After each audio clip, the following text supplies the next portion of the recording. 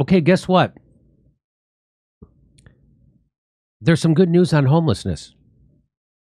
There's uh yeah. So the results of an point in time count conducted over 3 nights in February estimated that 69,144 people were experiencing homelessness in LA County. That's a 4.1% rise from 2020. And 41,980 people were experiencing homelessness in the city of LA, up 1 point from from 2020. A count that was not conducted in 2021 because of COVID. So now there's this lady. I think you pronounce her name Nithya. Is you th- Nithya? Is that how you say that? Nithya Mm. Raman. Ni- So she is a council member for Los Angeles City Council. Nydia, I bet. I bet it's Nydia. I used to know a Nydia. I bet Oh, yeah? spell it. Yeah. Okay. She well, I was just on the Twitters and I saw this.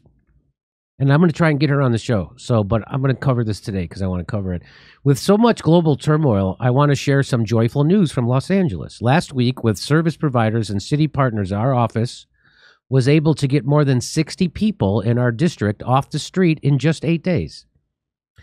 Now, I- maybe that doesn't sound like a big deal to you, but it is. yeah, it does. I was going to say, how'd you do that? But I think it is. Say. She's going to say, "Here's how we did it," but that's a big deal. I think that's positive. yeah. She says for the last few months, our office has been working to supplement our existing shelter and housing navigation resources to get more people indoors and ultimately into stable housing. Last week, a lot of that work came to fruition at once. For context, during the last Los Angeles homeless count in January 2020, there were roughly 700 unsheltered people in our district. Getting 60 plus people indoors in a week puts a big dent in that figure, and it adds to the work we've been doing to shelter hundreds more over the last year. So she doesn't really say how they did it. That's why I want to get her on the show so yeah, we I'd can like ask her. But the only thing, amazing. the only thing she really says is that her office has been working to supplement our existing shelter and housing navigation resources. That's all she says. She doesn't say exactly what she's been doing. That's why I want to get her on the show. But let's watch this. Hang on. So this is Lo- this is Los Angeles, in case you didn't know. She says in Sherman Oaks, encampments on Caltrans land and at Van Nuys and the 101 and Coldwater 101 were being cleaned out and affecting about 20 people. So the cops are coming in, I think, and getting rid of these people who are in homeless camps around these places. With the help of LAHSA and Paul Krekorian's office, we found resources to make sure everyone could move indoors instead of down the street. Every Katzenberg said he didn't mind if we helped him, just get him the hell out of Get here. hell. in Studio City, people had been living. So that that's where I live now. yeah. I live in Studio City. In Studio City, people had been living on Fruitland Drive. I know where that is for weeks after being moved off of county land across the street. I remember that. I remember they had a whole boy. There was a parking lot there for the bus, and they just was all ca- tents, hundred percent. Yeah, right. Yeah, right. Remember that? Mhm. So they got rid of those people, but they just went across the street because that was a. LA Homeless gave us urgent resources. LA Family Housing helped guide us, and No Home Org did case management to get the 12 residents into hotels and tiny homes.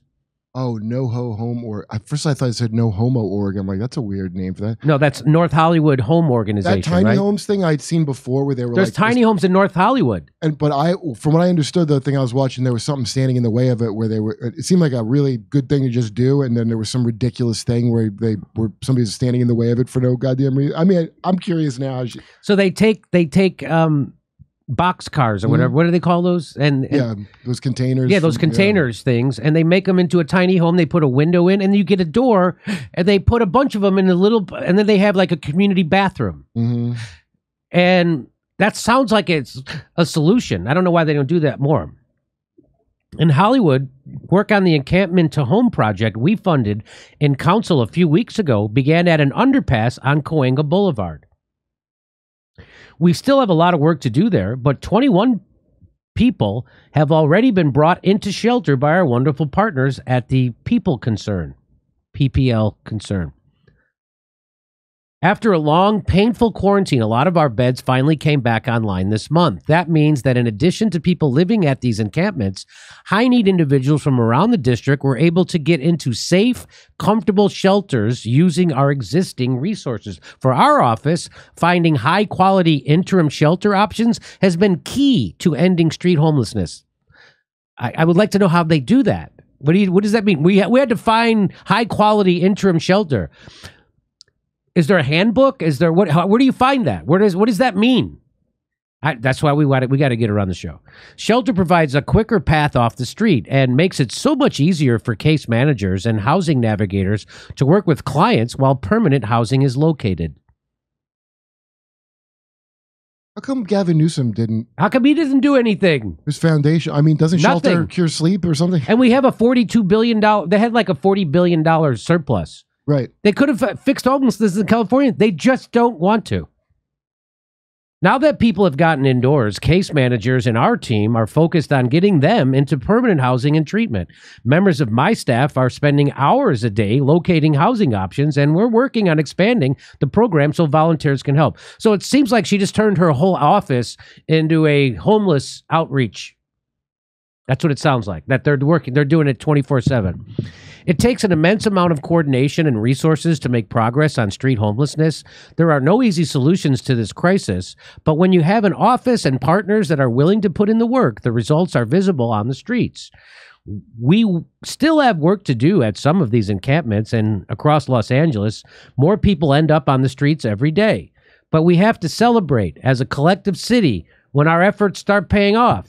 We have to talk about what works and we have to keep doing it every day. So I salute you and I want to help amplify what you're doing. And if there's anything that we can do at the Jimmy Dore show to help you, we will do it. It's funny, like somebody really doing a thing like, and I. But I want to thank the real hero of this, AOC. That time she wore "Tax the Rich" on her her dress, because it's like actual work to make a thing happen. It's Yes. not like big number, you know. Virginia Beach, Richmond, Arlington, San Jose, Miami, West Palm Beach. Go to jimmydorecomedy.com for a link for all the tickets and become a premium member while you're there.